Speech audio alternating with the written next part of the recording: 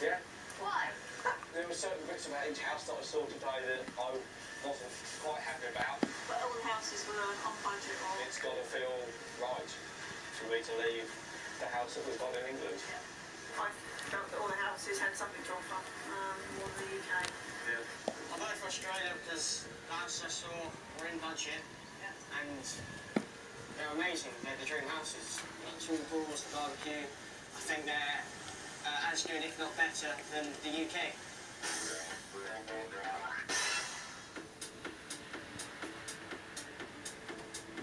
With Leona and the children won over by Australian property, ironically, it's now Martin who's questioning the move.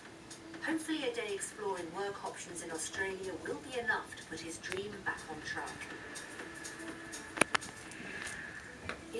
In Martin works as an insurance broker. I enjoy working within the insurance industry. I'm an audit analyst and I review audit reports from cover holders throughout the world.